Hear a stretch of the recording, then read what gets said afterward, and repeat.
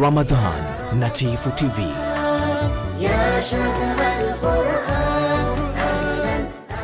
Historia ya miaka michache tu, si zamani sana, wakati wa udogo wangu mimi ninavyofahamu, Ramadhani ilikuwa inaheshimiwa sana, na kama nina kumbukumbu vizuri, nilishawahi kuwaona watu waliopewa adhabu na serikali miaka ya sitini ile kwa sababu ya kuivunjia heshima Ramadhani. Ukikamatwa unakula mchana, ukikamatwa umelewa Ramadhani, unakaa jela mpaka tarehe kama hiyo mwaka ujao. Lakini sasa hivi, halafu pia na wazee, huyo atakayefanya hivyo atakuwa ni mtoto wa watu, ana wazee wake. Wazee walikuwa hawavumilii mambo kama haya kwa watoto wao. Kwa hiyo ilikuwa lazima Ramadhani, unaona misikiti inajaa, magharibi ukizubaa unaswali nje. Lakini sasa hivi misikiti haijai hata huu nambari, ukija unaweza ukakuta nafasi huku nyuma chafu moja mbili. Kibaya zaidi, vijana wetu Waislamu wamezaliwa hapa hapa, wanakula mchana hadharani. Hata maeneo ninayoishi mimi huko wako vijana wanakula mchana hadharani, na hata ukipeleka mashtaka pahala, ambia hayo mambo bana, ni uhuru wa kuabudu, kila mtu ana haki yake. Sasa hivi wamepewa uhuru, huwezi kuingilia uhuru wa mtu. Kaamua yeye hataki, basi. Nadhani hata huko Saudia ndo iko hivyo sasa hivi, kuna sharia mpya zimetungwa. Wale wasioheshimu dini ndo wameongezeka, wamekuwa wengi na haki zao zinalindwa. Wanaambiwa ni uhuru wao, ni maamuzi ya mtu. Huyu mtu mzima kishafikia wakati wa maamuzi, halazimishwi. Kwa hiyo vijana wanakula mchana, wanavuta bangi mchana, wanafanya mambo yao ya starehe mchana, Ramadhani hii. Sasa jamii hii ya Waislamu wa nchi hii imetoka kule imefikia hapa kwa miaka hata haizidi hamsini sasa hivi imefikia hapa. Heshima ya Ramadhani hakuna. Wengine wanaitwa tour guiders, vijana wetu wanaongozana na watalii. Unawakuta sehemu huko za watalii, sijui Kijichi wapi, wanapoingia watalii ndo wanaingia nao. Kwa hiyo watalii wakiweka msosi, wale wanaruhusiwa kula kwa sababu si Waislamu na wametengewa mwahala maalumu, hapa ndo watapata chakula chao. Lakini vijana wetu wanaofatana na wale watu wanafanya kila kitu mchana Ramadhani, wanakula chakula, wanakunywa pombe, wanastarehe na wazungu, wanafanya kila kitu. Sasa sijui sisi wenyewe tunaoona hili jambo kwetu ni muhimu la kumwabudu Mola wetu, hii kuhusiana kushikamana na haki kuhusiana subira, sijui iko katika usimamizi gani? Kila siku mbona tunaharibikiwa?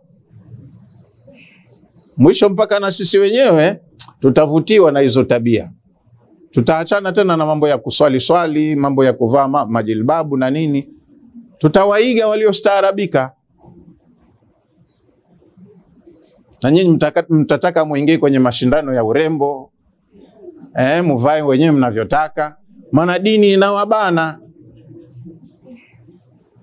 Sasa aya zimekuja kuwanyoosha watu waliokuwa kwenye tabia hizo za ajabu ajabu, wakaambiwa dini yenu inakutakeni muwe hivi, wakarekebishika wakafanya hivyo, wakalingania dini mpaka huku kwetu Afrika ikafika. Sasa hivi ndo inaondoshwa, na sisi wenyewe wenye hicho chetu tunashindwa kukitetea au kukilinda. Nadhani mmenifahamu vizuri. Ah, basi hapo ndo tulipofikia. Sasa ndo tunatoka katika wale watu wanaokabiliwa na hasara, tunatoka katika wale walioopolewa. Hatukutaka kukaa kwenye walioopolewa, tunawafuata walioko kwenye hasara, tunawaona wao ndo wamepatia, sisi labda tumekosea. wala asri, ninaapa na zama innal insana lafi khusrin, hakika ya mwanadamu ni kiumbe ambaye kakabiliwa na hasara. Wallahi yuko hasarani, na ni kweli binadamu huyu yuko hasarani, illa alladhina amanu wa amilu salihati, isipokuwa hawatokuwa hasarani wale wenye imani thabit inayothibitishwa na matendo mema. Watawasau bilhaqi, wakawa wanahusiana kushikamana na haki ambayo ni dini, wakae kwenye maisha ya dini. Watawasau bisabri, na wale ambao wanahusiana kuwa na subira kwenye hayo mambo. Darsa ijayo inshallah nitakuja kufahamisha nini maana ya dini, nini dini inshallah. Haya, kwa leo nafikia hapo. Salamu alaikum warahmatullahi wabarakatuh.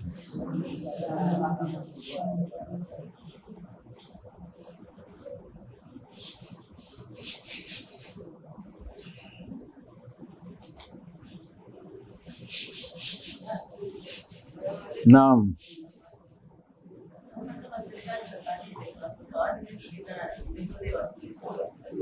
Naam. Mm.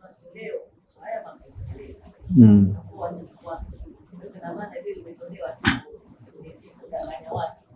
Ah, toleo limetolewa na yako baadhi ya mambo tunayaona hatuwatoi shukurani, wanayachukulia hatua, kwa sababu kama mwezi mmoja uliopita palirushwa clips kwenye mitandao ya watu wa bodaboda. Bodaboda mmoja akachukua wanawake wawili mshikaki, wanatoka kwenye starehe zao huko kabla ya Ramadhani, hiyo maanake wako kwenye pikipiki kama walivyozaliwa na mama zao, hawana nguta moja. Halafu hiyo pikipiki iliochukua hao wanawake, nyuma yake inaonekana kuna pikipiki nyingine, yuko mwanamke anawachezea makalio wale wanawake waliouchi. Bila shaka kulikuwa na pikipiki nyingine, labda ndo hiyo hiyo inampiga picha, ndo kakaa yeye. Ina safari imeendelea muda mrefu, wanachukua movie. Hizo klipu zilirushwa na serikali iliwajibika, wakakamatwa wale watu, wakahojiwa, wakachukuliwa hatua unavyoona. Kwa hiyo yako mambo ambayo yanachukuliwa hatua, lakini mengine yanaripotiwa, yanaripotiwa kama hayo, lakini jambo likigusa utalii, ah, sasa huko ndo kunako mapato yetu hapa tutatia kitumbua mchanga. Na mengine utasikia kuna maazimio ya kimataifa. Yametoka hivi hivi hivi. Kwa hiyo serikali mengine inayachukulia hatua, tunashukuru. Na tunaomba na haya mengine yaliyo kwa watu wetu. Wasionekane kwamba wana uhuru wa kufanya watakavyo. Mtu huwa hana uhuru, kwa sababu tuchukue mfano, mtu kaajiriwa jeshini, kesha kwenda depu, katolewa ule uraia halafu aonekane kule jeshini ana misbehave, jeshi litamwambia ani uhuru wake. Kuna sharia za jeshi zinambana. Kwa hiyo na sisi kama jamii, kama nchi, tuna mila na utamaduni wetu. Mbona zamani kulikuwa kuna wizara hasa ya mila na utamaduni? Vitu kama hivi vilikuwa vinazingatiwa ndani ya serikali, au hamkumbuki kwamba kulikuwa kuna mila na utamaduni hapa unalindwa? Sasa hivi ndo unapotea. Kwa hiyo tunawaomba viongozi wetu wawe macho. Yametoka matoleo na tumeyasikia, lakini sisi tunaotiritiri huku mitaani tunaona mambo yanaenda vibaya, na wengine ndo hatuchomi pweza akanuka. Ukisema mara unakuwa gaidi, unaona. Sasa inabidi mambo ya watu mengine uyafumbie macho. Cha kufanya unakwenda mahala unasema, jamani, kuna moja mbili tatu linafanyika. Sasa wewe unayemwambia unategemea kwamba atalichukulia hatua lile jambo, taarifa ile itafanyiwa kazi, lakini ndo huku siku zinaenda na unaona hakuna kinachobadilika. Lakini ndo juhudi yetu inaishia hapa. Tunasema hivi, huku mitaani watu wetu wako vibaya, ndo tunasema, tunaishia kusema tu, hatuna uwezo mwingine wa kufanya zaidi ya hapo. Lakini nachohimiza katika jamii kama sisi ndo wanajamii, tunatakiwa na sisi tuwe tumejifuma vizuri, tuwe na huo mshikamano kama tulivyoambiwa, tuhusiane. Wanaofanya hivi wengi ni watoto wetu, wazee wao kama watoto, wazee wao wapo.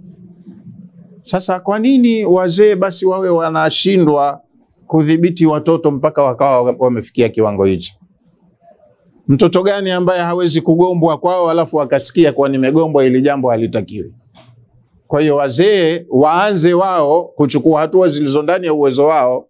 Pale watakaposhindwa, wao ndo watakuwa mabalozi wazuri wa kulichukua lililowashinda wakalipeleka kwenye vyombo vyenye maamuzi.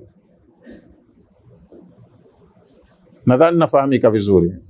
Haya, kama wao watashindwa wazee na serikali ikasema ah, watu washakuwa watu wazima, wana maamuzi yao, waachiwe wafanya wana- wanavyotaka, basi tutashindwa sisi, kama alivyosema Nabii Nuh.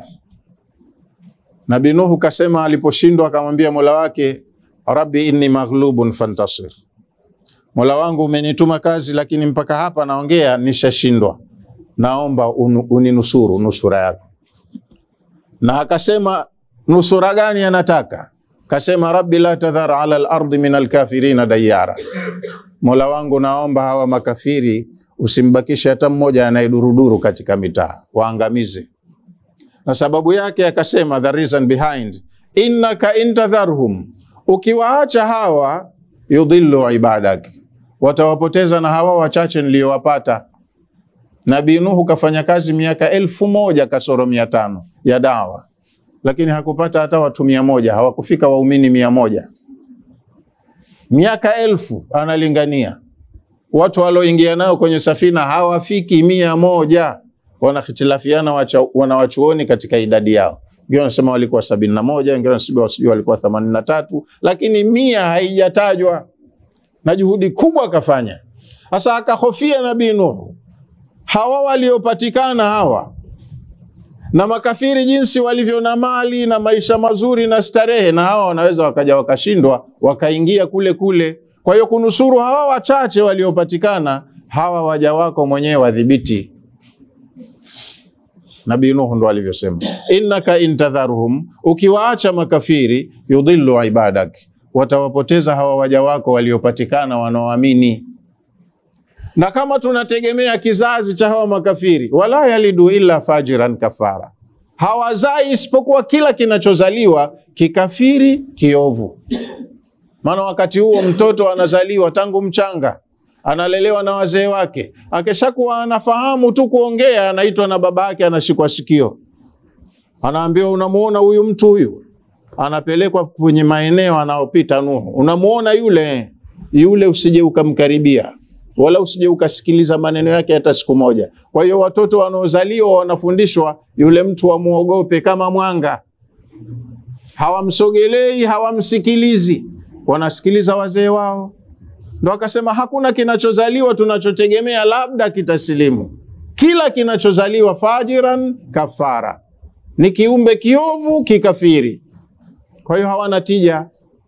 Dua yake ikakubaliwa, ndo yakatokea yale ma maangamizi akasalimika yeye na walioko kwenye safina. Lakini si hatujafikia kiasi hicho cha kwamba tushindwe kufanya kitu. Tunaweza kufanya kitu, tukanusuru jamii yetu, tukaenzi mila na utamaduni wetu. Wallahu aalam. Na mwingine lishajibika eh? Falillahi alhamdu. Ramadan na Tifu TV. يا شهر القرآن